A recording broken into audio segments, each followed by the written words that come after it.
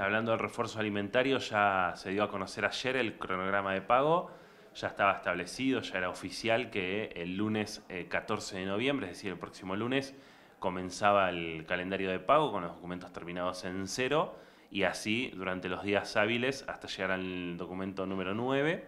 Eh, tenemos el lunes 0, el día martes 15 en 1, el 16 en 2 y así hasta llegar al 9 que eh, es el 28 de noviembre, el último día. Recordemos que hay un feriado, que es el del 21, el lunes 21, ese día no solo el refuerzo alimentario, sino ninguna prestación de ANSES va, a tener calendario de pago ese día, si continúa al día siguiente. Entre el EU, el número estimado ya es superior al de 750, insisto que superó todas las expectativas, eh, bueno, un poco lo que es la realidad de la ciudad.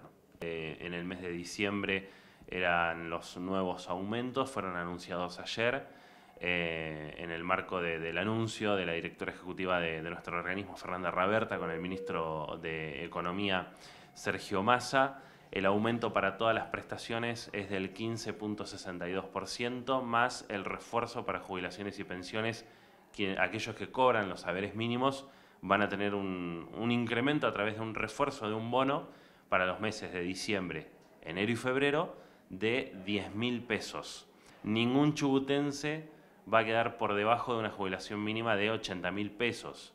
Hay que tener en cuenta hay que sumarle que eh, en el mensual de diciembre, es decir, la próxima jubilación ya del mes que viene, viene con el aguinaldo.